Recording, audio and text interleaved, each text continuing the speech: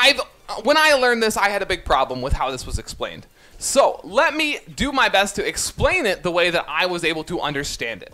You have heard many times that the electric field inside of a conductor is zero. But what they mean by that is the net electric field inside of a conductor is zero. Okay, there is electric field inside of a conductor. There's in fact multiple electric fields inside of a conductor, and they are set up in a way very specifically to cancel. So what is a conductor? A conductor is different because one or more of the electrons per atom are free to roam. That means that for a perfect uh, conductor, unlimited amount of free charges. Charges can come and go as they want.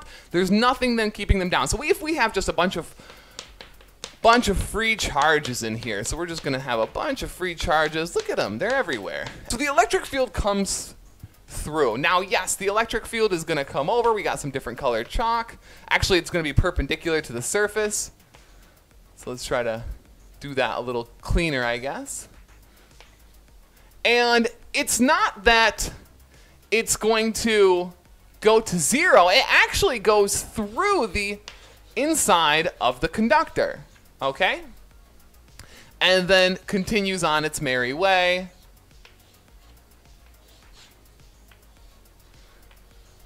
Okay? Now, here's the thing. Is once the electric field goes through and you have these charges inside that can move, what you get is an arrangement of charges on the what do I have? Oh, let's do green, I guess, for that. Oh, I need something a little bit brighter. Let's do purple. Yes, purple looks good. So now what's going to happen is you're going to have a bunch of charges ride on this electric field. So you'll get a bunch of minus, if the, if the electric field is going this way, you'll get a bunch of minus charges form on this surface, and a bunch of plus charges form on this surface. Okay, now the free electrons and the free charges are going to move in such a way so that very specifically, now you have an electric field inside. Did I do that right? I think it's correct. You have an electric field that goes backwards. Thought electrons go against. Yeah, electrons go against the, the uh, and positive charges. Yes, there we go. And it always goes ah away from the positive charges. They're correct. Okay, cool. Now listen.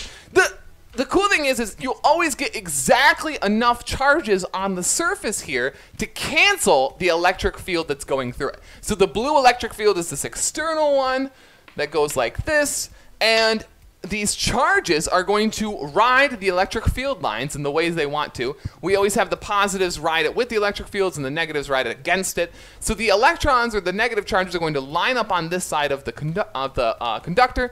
The positive charges will line up on this side of the conductor. And then there's going to be a, a electric field going from plus to minus in such a way exactly that the E total is going to equal the electric field from uh, the external and the electric field from the internal.